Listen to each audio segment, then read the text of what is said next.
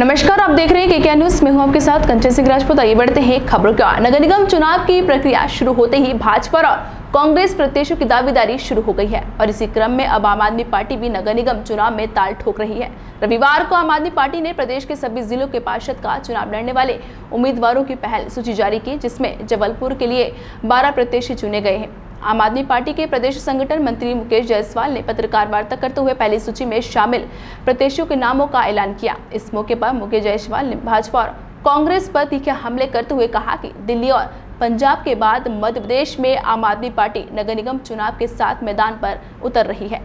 यह दो बेईमान एक ईमानदार पार्टी के बीच होने वाले चुनाव है। आम आदमी पार्टी ने नगर निगम शहर के उन लोगों को पार्षद का टिकट दिया है जो ज़मीन से जुड़े हुए कांग्रेस में कई सालों तक सेवा देने वाले प्रवीण कुशवाहा और भाजपा में कई सालों से अपनी सेवाएँ देने वाले कार्यकर्ता अपनी उपेक्षा के चलते अब आम आदमी पार्टी के साथ में है जो चुनाव लड़ेंगे। डॉक्टर मुकेश जायसवाल ने कहा कि अब आम आदमी पार्टी का नज़रिया बिल्कुल स्पष्ट है कि ईमानदारी से काम करना और भ्रष्टाचार करने वालों पर सख्त कार्रवाई करना आम आदमी पार्टी का खासियत है, जिसके उदाहरण दिल्ली और पंजाब में देखने को मिले हैं।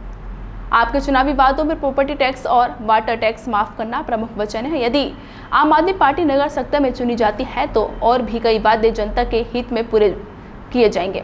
बहरहाल, परिवार सूची के जल्द ही अन्य वार्डों के लिए भी प्रत्याशियों की घोषणा की जाएगी। वही दो तीन दिनों में महापौर प्रत्याशियों के नाम का भी ऐलान किया जाएगा। जबलपुर से वाजिद खान की रिपोर्ट।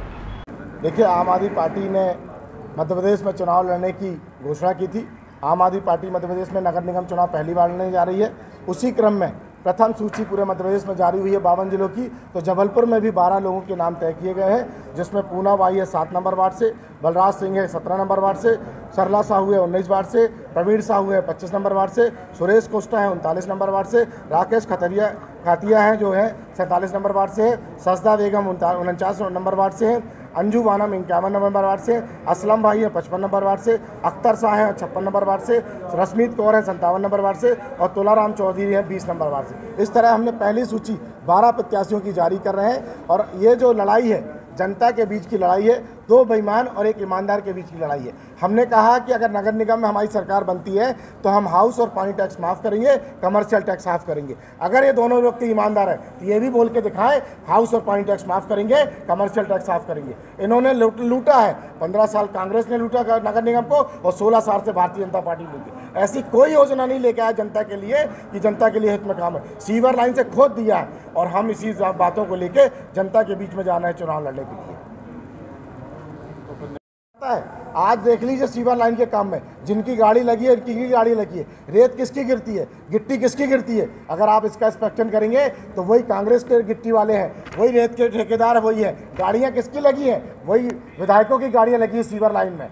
अरे सीवर लाइन तो छोड़िए फ्लाईओवर बन रहा है। फ्लाईओवर में सप्लाई देख लीजिए किसकी हो रही है। पहले तय होता है कि रेत कौन सप्लाई करेगा, गिट्टी कौन सप्लाई करेगा सीमेंट कौन सप्लाई करेगा। लोहा कॉन्ट्रैक्ट होते हैं परसेंटेज तय। तो इस परसेंटेज को बताने के लिए, बचाने के लिए, जिस तरह दिल्ली में तीन सौ करोड़ का पुल, डेढ़ सौ करोड़ बनता है, यही पैसा है मोहल्ला क्लिनिक बनाने के लिए। आम आदमी पार्टी ने कहा है, हाउस और पानी टैक्स माफ़ करेगी तो उसकी योजना हमारे पास है। हाउस टैक्स, पानी टैक्स माफ़ करेंगे। और कमर्शियल टैक्स हाफ़ करेंगे। ये बेईमान लोग नहीं कर सकते। ये अरविंद केजरीवाल जैसे कट्टर ईमानदार लोग ही कर सकते हैं। लोग कहते हैं कि कैसे करोगे हाउस और पानी टैक्स माफ़ और कमर्शियल टैक्स हाफ़ दिल्ली में जब 300 करोड़ के पुल डेढ़ सौ में बनाए जा सकते हैं तो हाउस टैक्स और पानी टैक्स भी जनता से जो अवैध वसूली की जाती है, वो हम माफ़ कर सकते हैं। ये योजना है। उसी क्रम में हम पहली सूची जबलपुर की जारी कर रहे हैं। जिसमें कुछ लोगों के नाम हैं। वार्ड क्रमांक सात से श्रीमती पूनाबाई यहाँ उपस्थित है। वार्ड क्रमांक सत्रह से बलराज सिंह महाराणा प्रताप नगर वार्ड। वार्ड क्रमांक उन्नीस से श्रीमती सरला साहू, कमला नेहरू। वार्ड क्रमांक 25 महात्मा गांधी वार्ड से प्रवीण कुशवाहा जी। ये प्रवीण कुशवाहा जी तीस पैंतीस साल से कांग्रेस में थे। अपने आप को घुटन महसूस कर रहे थे। उनको कहीं जगह नहीं मिल रही थी। आम आदमी पार्टी ने आए, उन्होंने फॉर्म भरा और स्कूटनी के बाद प्रवीण कुशवाहा जी को आम आदमी पार्टी ने टिकट दिया इसी तरह सुरेश कोस्टा जी, जो बीएसएल के जीएम के पी रहे और रिटायरमेंट के बाद उन्होंने कहा कि हम समाज सेवा करेंगे। सुरेश कोष्टा जी, रिटायरमेंट के बाद समाज सेवा के लिए आम आदमी पार्टी से टिकट ले रहे हैं। उनतालीस नंबर वार्ड चित्रंजन जी। राकेश कतरिया जी, जो पहले बीएसपी में थे, कांग्रेस में पिछले कई साल से काम कर रहे थे, सामान्य कार्यकर्ता है। तीस साल से राकेश भाई काम कर रहे थे, लगातार उनकी उपेक्षा हो रही थी।